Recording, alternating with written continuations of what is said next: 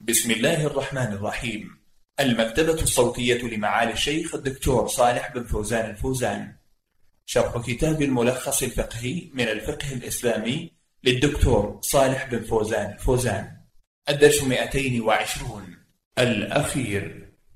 بسم الله الرحمن الرحيم. الحمد لله رب العالمين. الصلاة والسلام على نبينا محمد خاتم النبيين وإمام المتقين وعلى آله وصحبه ومن اهتدى بهديه وتمسك بسنته إلى يوم الدين. أما بعد أيها الإخوة المستمعون السلام عليكم ورحمة الله وبركاته. نتحدث إليكم في هذه الحلقة كسابقاتها عن أحكام القضاء في الإسلام. وكنا قد انتهينا إلى أحكام الإقرار لأنه أحد الطرق القضائية فليكن موضوع حديثنا في هذه الحلقة إن شاء الله. فالإقرار هو الاعتراف بالحق مأخوذ من المقر وهو المكان كأن المقر يجعل الحق في موضعه والإقرار إخبار عما في نفس الأمر من حق الغير لا إنشاء.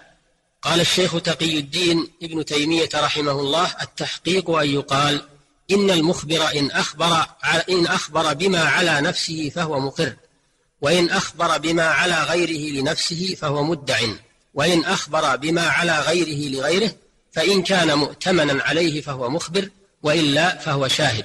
فالقاضي والوكيل والكاتب والوصي والمأذون له كل هؤلاء ما أدوه مؤتمنون فيه فإخبارهم بعد العزل ليس إقرارا وإنما هو خبر محض وليس الإقرار بإنشاء وإنما هو إظهار وإخبار لما هو في نفس الأمر. انتهى كلامه رحمه الله. ويشترط لصحة الإقرار أن يكون المقر مكلفا فلا يصح من صبي ومجنون ونائم ويصح من الصغير المأذون له في التجارة في حدود ما أذن له فيه ويشترط أن يكون المقر قد أقر في حالة اختياره فلا يصح الإقرار من مكره إلا أن يقر بغير ما أكره على الإقرار به. ويشترط لصحة الإقرار أيضا ألا يكون المقر محجورا عليه فلا يصح من سفيه إقرار بمال. ويشترط أيضا ألا يقر بشيء في يد غيره أو تحت ولاية غيره كما لو أقر أجنبي على صغير أو على وقف في ولاية غيره أو اختصاصه. وإن ادعى المقر أنه أكره على الإقرار وأنه لم يقر باختياره قبل منه ذلك مع قرينة تدل على صدقه أو بينة على دعواه. ويصح إقرار المريض بمال لغير وارثه في حال المرض لعدم التهمة في ذلك ولأن حالة المرض أقرب إلى الاحتياط لنفسه لما يراد منه. وإن ادعى إنسان على شخص بشيء فصدقه المدعى عليه صح تصديقه واعتبر إقرارا يؤاخذ به لقوله صلى الله عليه وسلم لا عذر لمن أقر ويصح الإقرار بكل ما أدى معناه من الألفاظ. كأن يقول لمن ادعى عليه صدقت أو نعم أو أنا مقر بذلك ويصح استثناء النصف فأقل في الإقرار.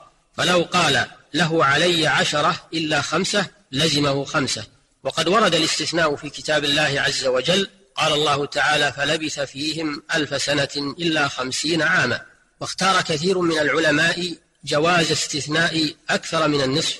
واختار كثير من العلماء جواز استثناء أكثر من النصف. ويشترط لصحة الاستثناء في الإقرار أن يكون متصلا باللفظ. فلو قال له علي مئة ثم سكت سكوتا يمكنه الكلام فيه ثم قال زيوفا أو مؤجلة لزمه مئة جيدة حالة وما أتى به بعد سكوته لا يلتفت إليه لأنه يرفع به حقا قد لزمه. وإن باع شيئا أو وهبه أو أعتقه ثم أقر أن ذلك الشيء كان لغيره لم يقبل منه ولم ينفسخ البيع ولا غيره لأنه إقرار على غيره لكن يلزمه غرامته للمقر له لأنه فوته عليه ويصح الإقرار أيضا بالشيء المجمل وهو ما احتمل أمرين فأكثر على السواء وهو ضد المفسر. فإذا قال إنسان لفلان علي شيء أو له علي كذا صح الإقرار. وقيل للمقر فسره ليتأتى إلزامه به. فإن أبى تفسيره حبس حتى يفسره. لوجوب تفسيره عليه لأنه حق عليه يجب عليه بيانه وأداؤه لصاحبه. وإن قال لا علم لي بما أقررت به حلف وغرم أقل ما يقع عليه الاسم وإن مات قبل تفسيره لم يؤاخذ وارثه بشيء. وإن خلف تركه لاحتمال أن يكون المقر به غير مال. وإن قال له علي ألف إلا قليلا حمل الاستثناء على ما دون النصف.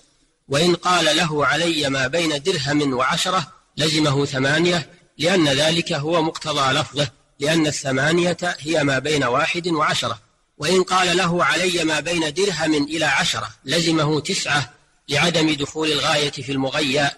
لكن عند بعض العلماء أن الغاية إن كانت من جنس المغيى دخلت فيه وإلا فلا. وإن قال له ما بين هذا الحائط إلى هذا الحائط لم يدخل الحائطان لأنه إنما أقر بما بينهما. وإن أقر لشخص بشجرة أو بشجر لم يشمل إقراره الأرض التي عليها ذلك الشجر فلا يملك غرس مكانها لو ذهبت ولا يملك رب الأرض قلعها لأن الظاهر وضعها بحق. أما لو أقر ببستان فإنه يشمل الأشجار والبناء والأرض لأن البستان اسم للجميع. وإن قال له علي تمر في جراب أو سكين في قراب أو ثوب في منديل فهو مقر بالمظروف دون الظرف. وهكذا كل مقر بشيء جعله ظرفا أو مظروفا لأنهما شيئان متغايران لا يتناول الأول منهما الثاني ولأنه لا يلزم أن يكون الظرف والمظروف لواحد والإقرار لا يلزم مع الاحتمال. وإن قال هذا الشيء مشترك بيني وبين فلان رجع في بيان حصته رجع في بيان حصة الشريك إلى المقر وقيل يكون بينهما نصفين لأن هذا هو مقتضى القاعدة في أن مطلق الشركة يقتضي التسوية بين المشتركين ويؤيد ذلك قوله تعالى في الإخوة لأم فهم شركاء في الثلث أيها المستمعون الكرام يجب على من عنده حق لغيره الإقرار به. إذا دعت الحاجة إلى ذلك لقوله تعالى كونوا قوامين بالقسط شهداء لله ولو على أنفسكم وقوله تعالى وليملل الذي عليه الحق وليتق الله ربه ولا يبخس منه شيئا فإن كان الذي عليه الحق سفيها أو ضعيفا أو لا يستطيع أن يمل هو فليملل وليه بالعدل. قال الإمام الموفق ابن قدامة في الكافي والإملال هو الإقرار والحكم بالإقرار واجب لقول النبي صلى الله عليه وسلم واغد يا أنيس على امرأة هذا فإن اعترفت فارجمها. ورجم النبي صلى الله عليه وسلم ماعزا والغامدية بإقرارهم ولأنه إذا وجب الحكم بالبينة فلا أن يجب بالإقرار من باب أولى لأن الإقرار أبعد عن الريبة. وبختام هذه الحلقة أيها المستمعون ينتهي هذا البرنامج ونسأل الله أن يعفو عما حصل فيه من الخطأ والنقص وأن ينفعنا والمستمعين بما فيه من الصواب وأن يوفق الجميع للعلم النافع والعمل الصالح ونستودعكم الله والسلام عليكم ورحمة الله وبركاته.